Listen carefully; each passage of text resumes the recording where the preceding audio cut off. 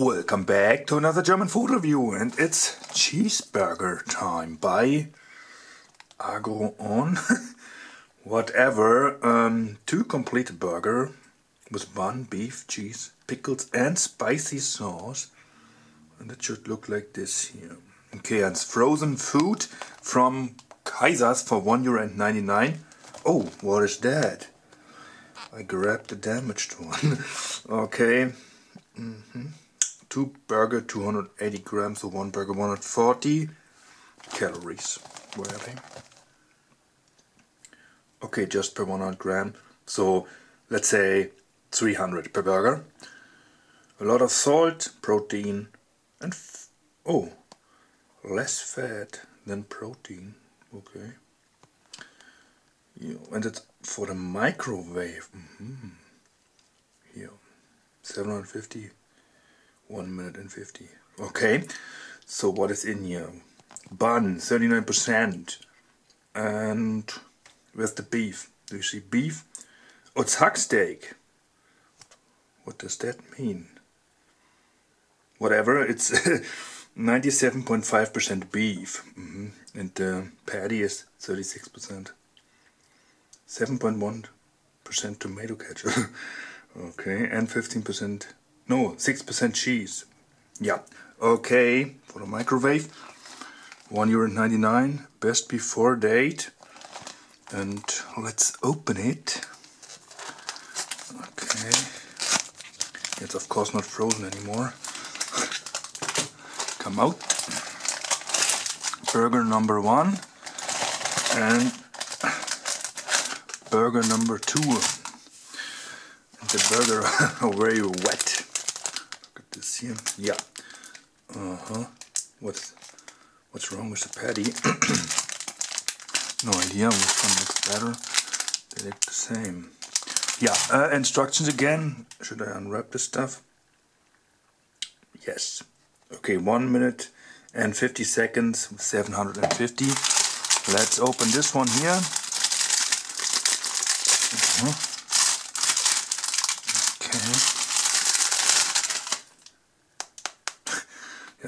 the bun. Oh, look at this. Is that good? I don't know. But yeah, frozen burger. Let's try that stuff. Back in a sec. So, here is the burger and it smells like pickle, just like pickle sour, like, yeah, like sour pickle. Sniff this.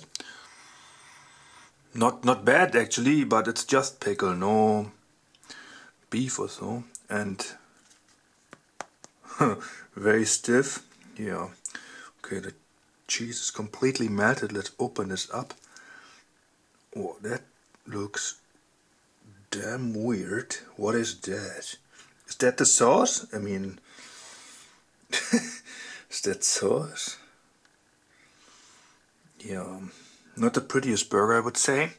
But okay, let's eat it. Maybe it tastes good. So, oh, which side? This here. Oops. Here we go.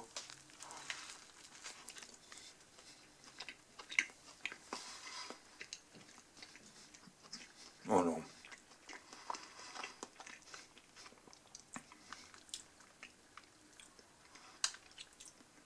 It tastes frozen or so. yeah, it's, uh, it's really... That's not really tasty. No. I don't think frozen burger is a good idea. Is it a good idea? Nah. Anyway, one more bite.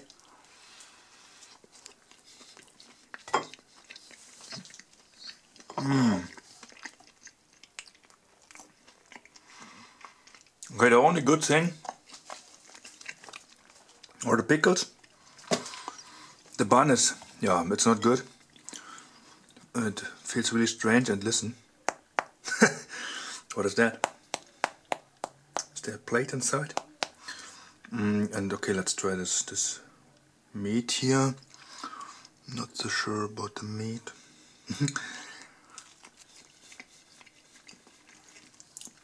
okay, it's not the worst. But that's not a tasty burger. Nah. I mean, I I had a lot of microwave burger, non-frozen. That stuff is not super great, but better than this here. I don't know, this is not good at all. Do you know that stuff here? Leave a comment right here.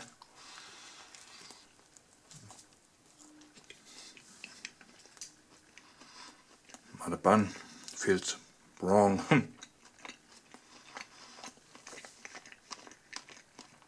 it tastes like it's frozen.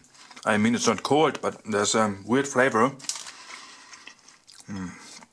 Oh. It tastes like mustard now. Some mustard on it. Yeah. Looks like mustard, doesn't it? Okay, it's also okay. Pickles and the sauce is okay. The rest is uh, maybe the cheese, but I can't taste the cheese. So here's a pickle. Let's try the super thin pickle. Oh, they're okay. But I think it's the bun with the weird flavor. No, right here. Hmm.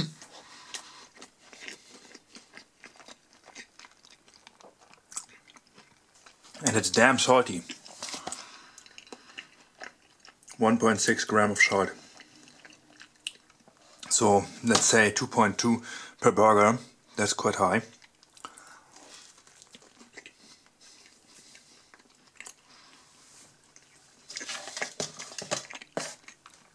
Yeah, rating for this one.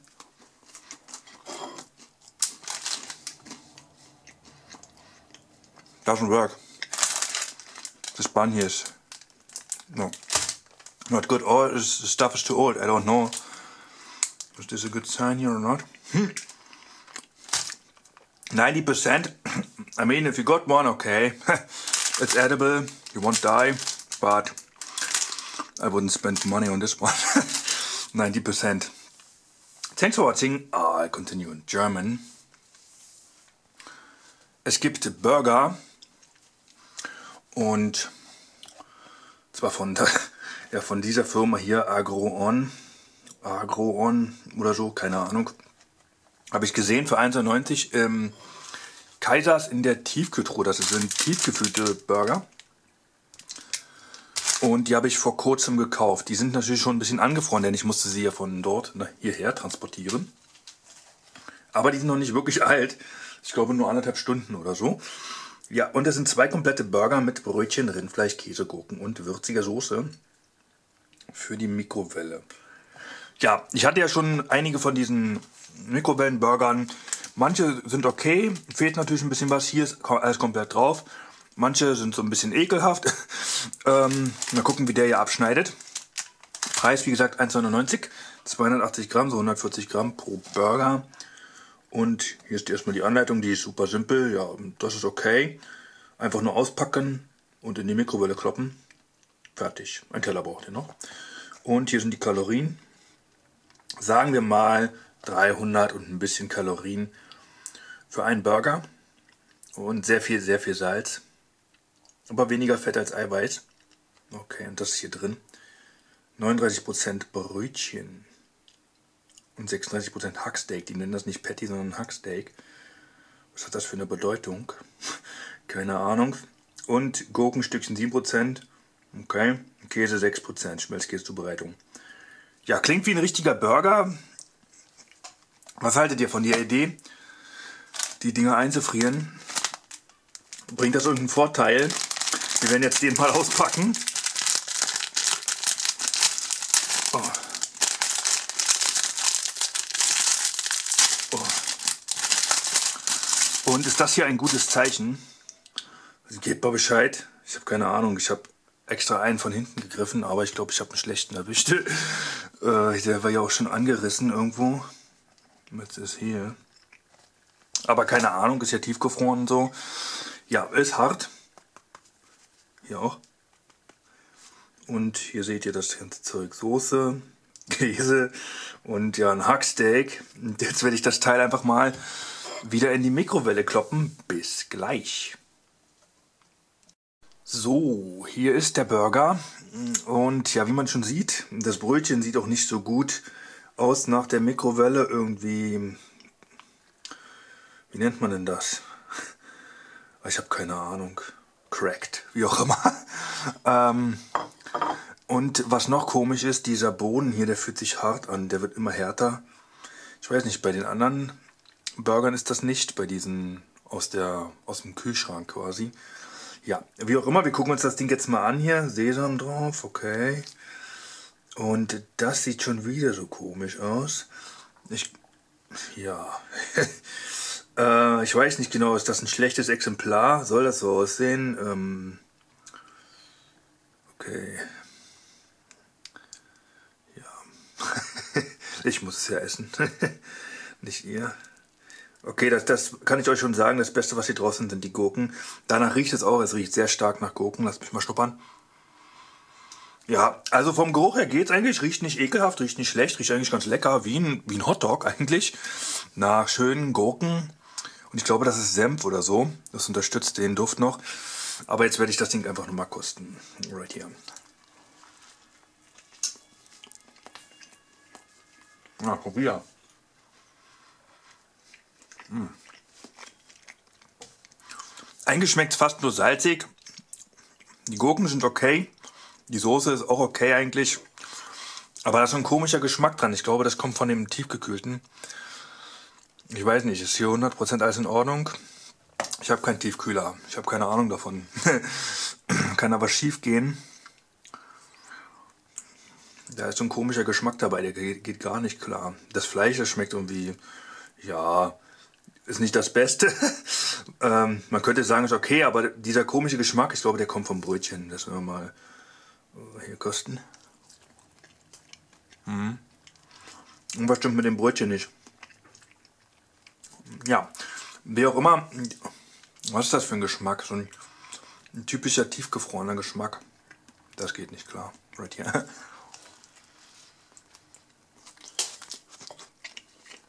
Aber die Gurken sind lecker. Immer alles positiv sehen, auch wenn ihr so ein Dinke essen müsst. Ja, äh, wie gesagt, ist auch noch super salzig. Okay, wer es mag. Aber ich würde die nicht nochmal kaufen.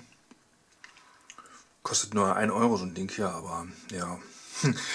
so schmeckt es auch. Und so sieht es auch aus. Right here.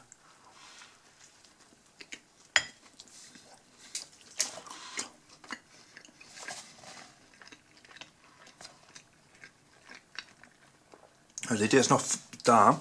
Okay, jetzt war dieser komische Geschmack nicht da.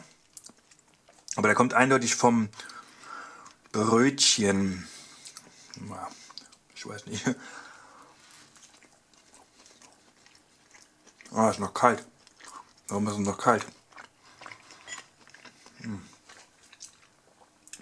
Ja, und dann ist da Senf drauf. Schmeckt jetzt nur Senf. Das sollten Sie dazu schreiben, dass da Senf drauf ist, nicht nur eine würzige Soße. Ja, schmeckt eher wie ein Hotdog, wie ein schlechter Hotdog, wie ein tiefgefrorener Hotdog als ein Burger. Den Käse merkt man gar nicht. Ah, ich werde das Ding mal hier noch wegschnabbeln. Ein Genuss ist das nicht. Habt ihr schon mal gegessen? Habt ihr euren aufgegessen? Seid ihr so hart? Ich bin so hart. Here we go.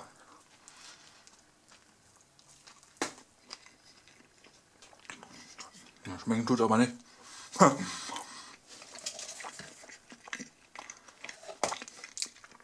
Ja, wie gesagt, wenn dieser komische tiefgefrorene Geschmack nicht da wäre, würde es ja 99% bekommen. Denn das Ding schmeckt einfach nur salzig und nach Senf. Fleisch, ob da nur Fleisch drauf ist oder nicht, das spielt keine Rolle, schmeckt man sowieso nicht. Das einzige Gute hier sind wirklich die Gurken. Ja, der Rest ist, ja, der Senf schmeckt auch noch okay, aber Könnt ihr auch einen Löffel Senf essen? Alles klar. 90 Prozent.